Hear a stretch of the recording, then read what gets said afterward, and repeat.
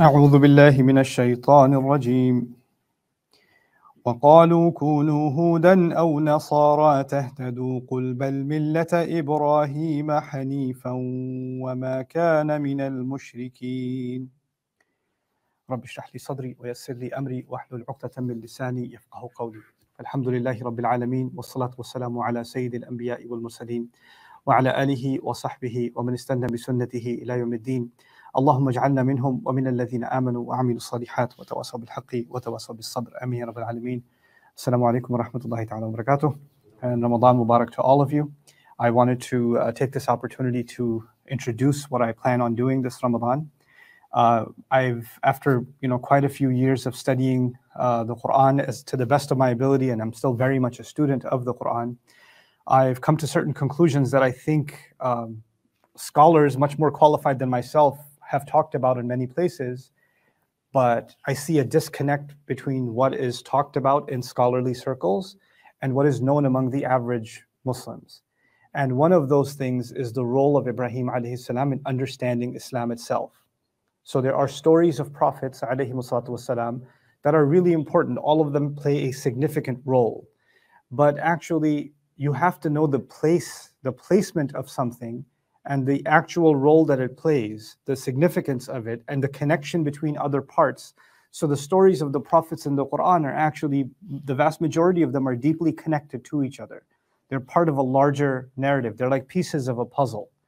And Ibrahim alayhi salam is a very fundamental piece of that puzzle. I would even argue that understanding the, the seerah of our messenger and the mission of our messenger, sallallahu alayhi wasallam, is next to impossible. The overall objective of the, the life of our Messenger وسلم, is nearly impossible to understand without understanding the connection that mission has to Ibrahim alayhi salam. It's not just understanding that connection though. When you when you and I understand that connection, our view of what, what Ibrahim alayhi salam saw the world as. His, he had a worldview, right? And that worldview was lost for thousands of years. And then Allah wanted that that Abrahamic worldview, the, the, the worldview of Ibrahim alayhi salam, should become the way that every believer sees the world.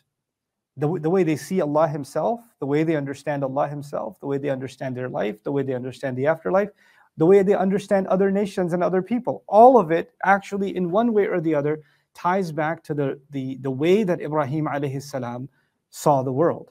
This is a very special messenger of Allah.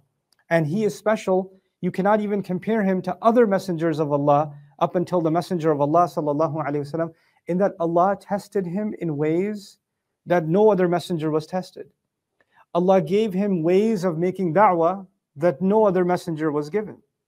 So for uh, just as a couple of examples, no messenger before Ibrahim or after Ibrahim alayhi was given the instruction to slaughter their own child. That's never happened. That's not something that is found in the legacy of any prophet except Ibrahim alayhi salam. There are pretty, pretty much every prophet in the Quran, other than the prophets of the Israelites, والسلام, they are making da'wah to people who do shirk. And so many of them, people used to worship idols, right? And that's you find these kinds of false gods being talked about in the legacies of different prophets.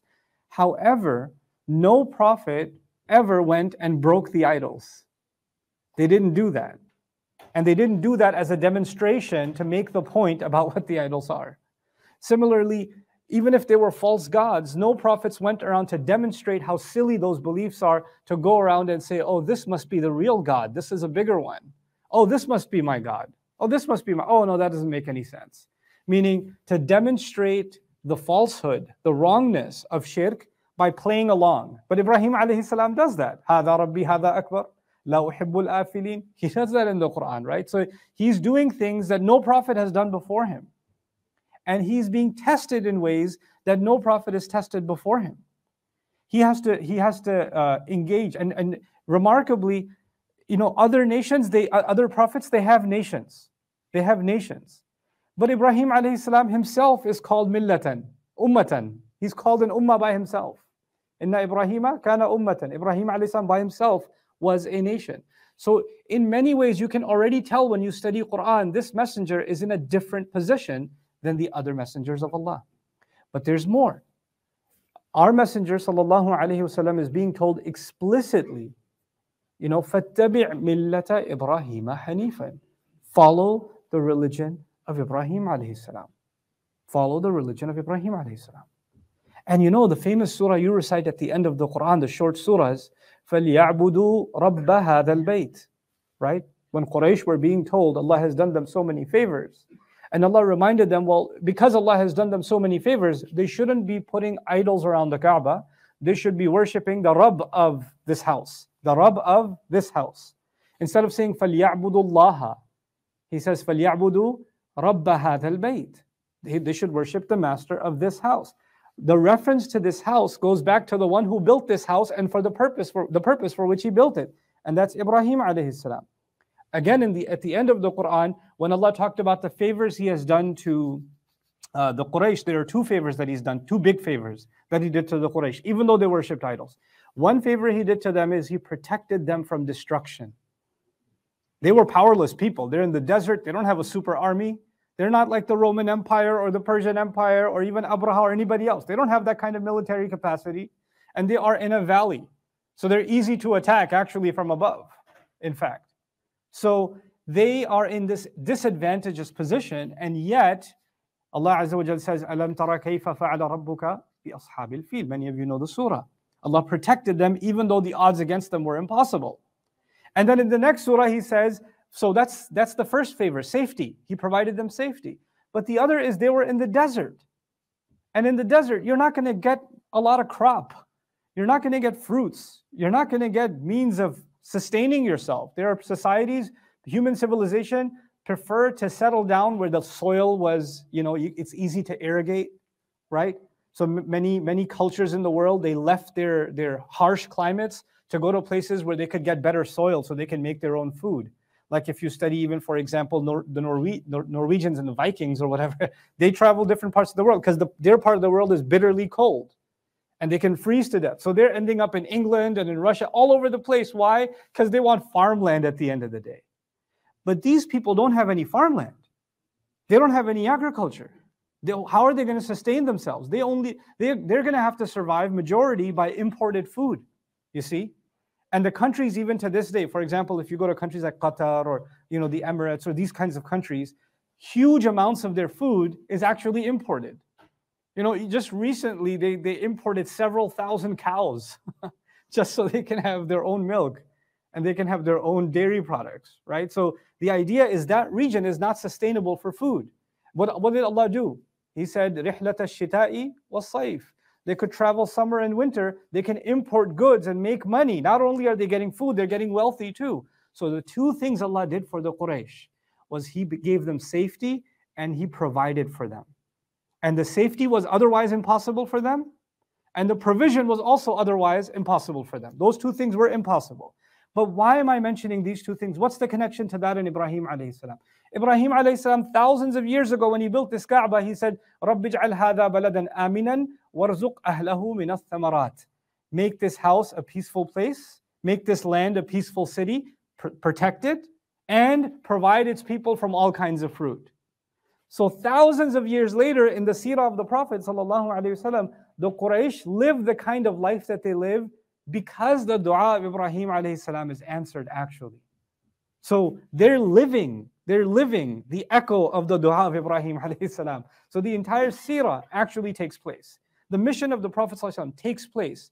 And the, in the background of it constantly is actually the legacy of Ibrahim alayhi That applies to him. It also applies to the Quraysh. Now that's one side of it. But our messenger, sallallahu he had two different audiences. The Messenger ﷺ in Mecca, pre- predominantly, he was dealing with Quraysh, the Arabs who became pagans. But then in Medina, and sometime even before when he, he moved to Medina, sallallahu alaihi he was also dealing with the Jewish and the Christian people. And the Jewish and the Christian people are a very different civilization than the, Arab, the, the Arabs of Mecca. They're completely different history, completely different religious background, and even the Jews are very different from the Christians. They're even very different from each other.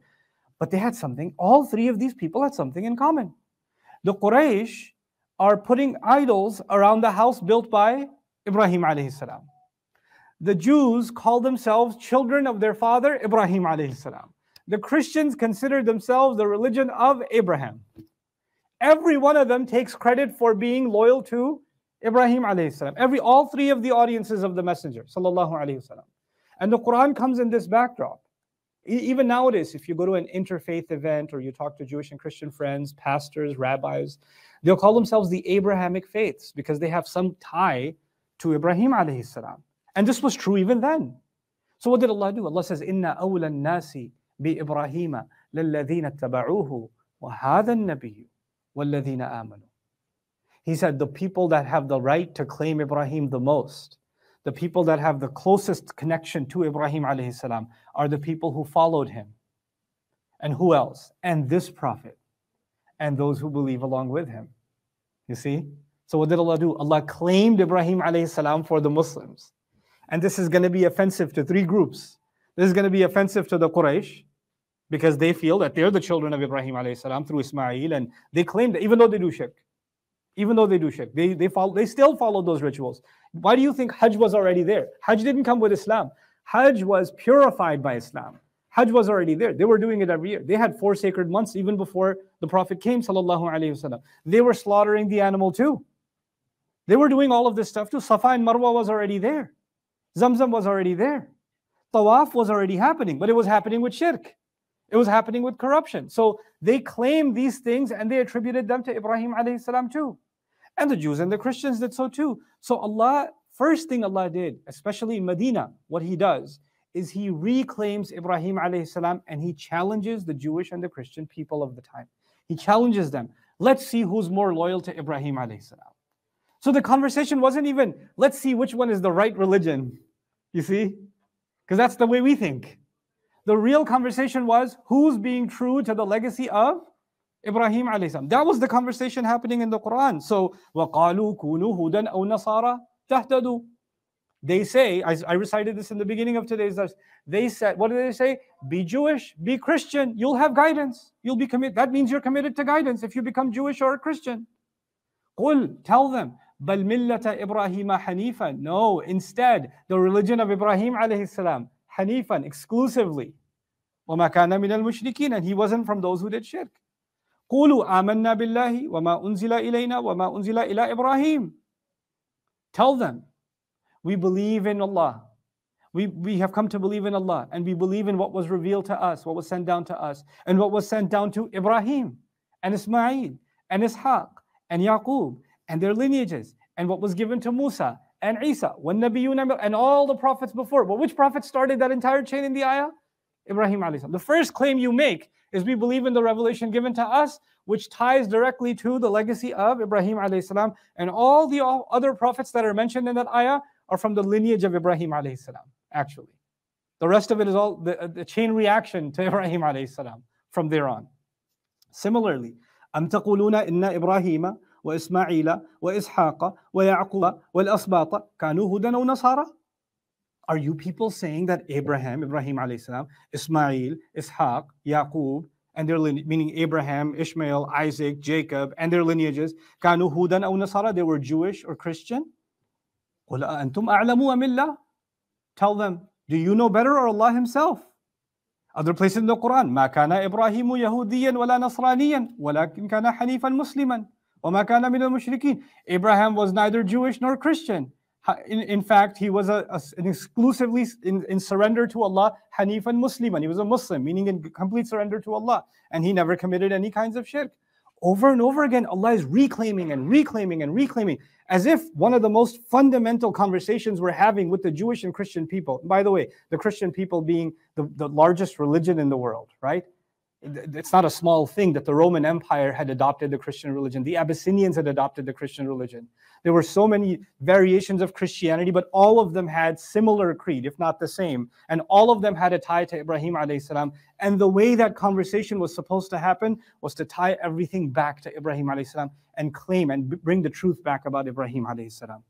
Ya Ahl al-Kitab, lima tuhajjuna fi Ibrahim, wa ma unzilat al-Tawrat wal-Injilu illa min ba'dihi, afala ta'qilun people of the book. Why are you arguing about Abraham? And the Torah and the Injil were revealed much after him. How come you don't understand? In other and you could say, in response, a Jewish or Christian argument could be, well, the Quran was revealed after him too. Well, you know what the answer to that is? We're saying, yes, it was revealed after him, but the Quran is going back to his religion. It's not re engineering him to be someone else, it's not hijacking his legacy, it's not retelling his story to make it fit your narrative. In fact, the Quran's own narrative is the narrative of Ibrahim salam himself. You see? You know what some, some theologians had to do in the Jewish and Christian religions? Well, St. Augustine comes along and says you can only go to heaven uh, if you believe in Jesus as Lord and Savior right? You can only go to heaven by accepting Jesus as Son of God. And he's going to save you on Judgment Day. Well, that's a problem because Abraham came way before Jesus. So is he going to hell now because he didn't accept Jesus because Jesus wasn't even there?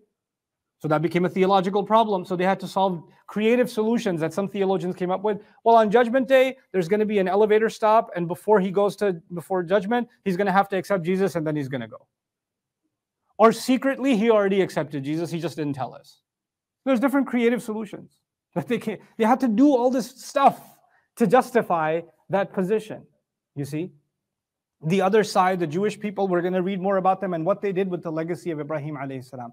But the point that uh, the, the starting point for our conversations is going to be why is this messenger so important? And some of the reasons, just a glimpse of the reasons that I wanted to start with is, is the conversation that Allah is have, Allah's messenger is having وسلم, through the Quran with the mushrikun of Makkah and the discourse that's taking place with the Jewish and the Christian people in Medina, all of it centers around, at the heart of it all, is actually Ibrahim alayhi salam. That is the central position that he occupies. So understanding him and understanding everything Allah tells us about him becomes that extremely important. So my my um, my dua to Allah Azza wa Jal in this series that we're going to continue. I want to keep the sessions short so you have things to think about and things to remember and things to retain. You know, I could give long, long lectures, but that's not the point. Actually, what I want is, you know, things that you guys listen to, less than 20 minutes, 15, 17, 18 minutes, and you just, when you're done, when you're leaving, you talk about it with your family. This, think of this, I should think of this, and you should think of this, that we're getting to know our Father better. Allah calls him our Father. The name of this series is the religion of your father Ibrahim. Allah has declared him our father, just like He declared the wives of the Prophet ﷺ our mothers. Just like that, He declared Ibrahim salam our father. Our biological father is Adam salam, but our spiritual father is Ibrahim salam. Our biological mother is our, our, our actual moms. Our spiritual mothers are the mothers of the believers. You understand? So there is this concept of spiritual fatherhood in, in our deen. And so it doesn't matter what continent you come from, what culture you come from, we all share a father spiritually, and that is Ibrahim alayhi salam. And we're going to get to know our father better and better, inshallah ta'ala. بارك الله لي ولكم في القرآن الحكيم ونفعني وإياكم بالآيات والذكر الحكيم.